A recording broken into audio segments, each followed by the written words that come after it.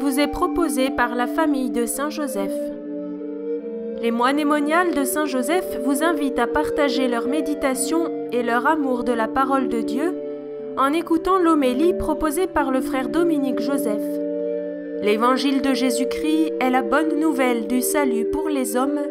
Il est l'évangile de la vie.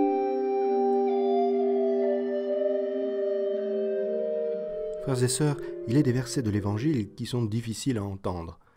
Quand je dis ça habituellement, c'est pour vous préparer à, réécouter l'appel du Seigneur à prendre sa croix, par exemple. Mais aujourd'hui, c'est un verset qui a fait une telle postérité en dehors de l'Évangile, rendez à César ce qui est à César et à Dieu ce qui est à Dieu, qu'il devient difficile de le réentendre dans la bouche de Jésus, dans le contexte de l'Évangile dont il est issu. Donc habituellement, euh, ce verset fait allusion au débat tout à fait intéressant par ailleurs euh, de la répartition des pouvoirs entre la sphère politique et, la sphère religieuse. Ce n'est pas sur ce terrain que je voudrais conduire notre méditation pour ce dimanche. Je voudrais au contraire revenir à l'accusation du Seigneur Jésus qui dénonce ses interlocuteurs, lesquels tentent de le conduire dans un piège mortel, qu'il les dénonce en tant qu'hypocrites. Voilà où le Seigneur nous rejoint, dans notre hypocrisie. C'est-à-dire, c'est un appel à la radicalité. Parce qu'on n'est pas un peu hypocrite ou beaucoup hypocrite, de même qu'on n'est pas un peu fidèle ou beaucoup fidèle. Soit on est fidèle, soit on est infidèle, soit on est hypocrite, soit on est honnête. Il n'y a pas d'entre-deux, cet entre-deux-là conduit Jésus à la mort.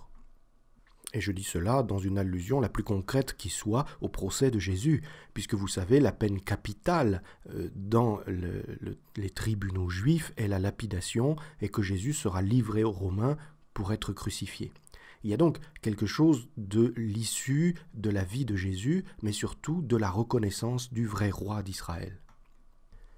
Et dans le fond, le débat est là, parce que sur l'effigie que les, interlocuteurs de Jésus sont invités à exhiber, il y a la tête de César, c'est-à-dire un empereur, d'accord, mais c'est-à-dire un roi qui se prête en Dieu, quelqu'un qui dit être roi et qui dit être Dieu, et avec qui les Juifs ont un rapport ambigu, et qu'ils ont toujours eu dans leur histoire, que ce soit César, que ce soit Alexandre, que ce soit Cyrus il y a toujours eu un rapport ambigu avec les nations païennes qu'ils admirent, qu'ils prennent pour modèle, alors qu'ils sont eux la nation qui devrait, et cela remonte au tout premier mot de la vocation d'Abraham, en toi seront bénies toutes les nations de la terre, alors qu'Israël donc devrait être celui qui apprend aux nations à vivre, particulièrement à vivre dans la bénédiction de Dieu.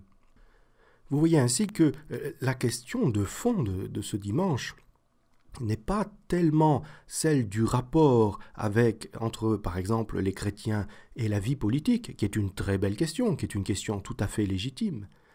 Mais la racine de l'interpellation du Seigneur Jésus nous invite à dire choisissez votre roi. Et la présence de cette monnaie dans les poches des accusateurs de Jésus montre que autant ils dénoncent le pouvoir de l'envahisseur romain, autant ils ont trouvé de nombreuses manières de tirer avantage de sa présence ne serait-ce que par des rapports commerciaux que symbolise l'argent, mais pas seulement.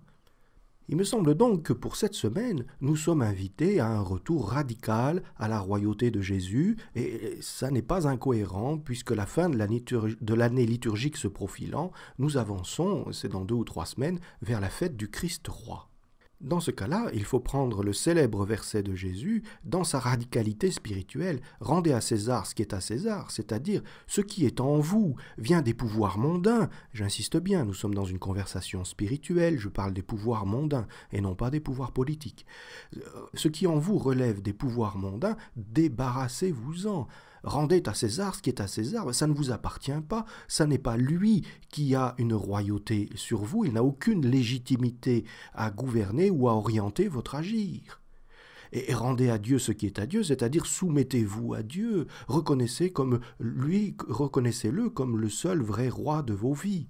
Car il est là le péché d'Israël depuis que dans le premier livre de Samuel, les anciens sont allés trouver le prophète pour lui dire Nous voulons un roi comme les autres nations, c'est-à-dire nous voulons cesser d'être une nation à part.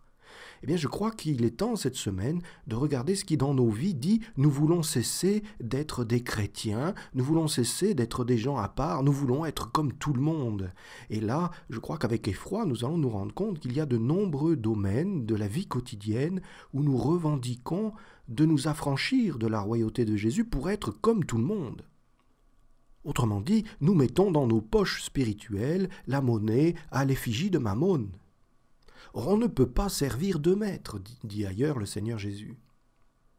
Que cette semaine, frères et sœurs, soit celle où nous reconnaissons le Christ comme le vrai roi de nos vies, où nous cessons d'élaborer des projets personnels aussi louables, aussi légitimes, nous semble-t-il, en espérant que Dieu vienne à notre secours, que nous mettions en œuvre des moyens mondains, en espérant que Dieu nous bénisse et nous protège.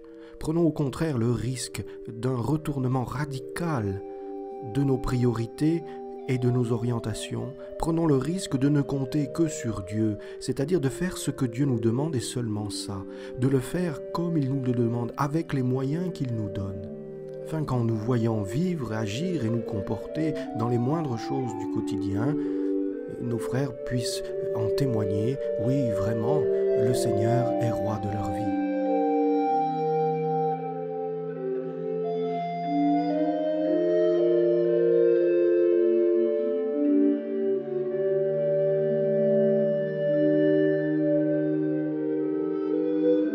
Nous espérons que cette homélie vous aide à accueillir la parole de Dieu et à la mettre en pratique. Vous pouvez confier vos intentions de messe aux frères prêtres de la famille de Saint-Joseph. Si cette homélie vous a touché, merci de la partager sur les réseaux sociaux et de vous abonner à notre chaîne. Bonne semaine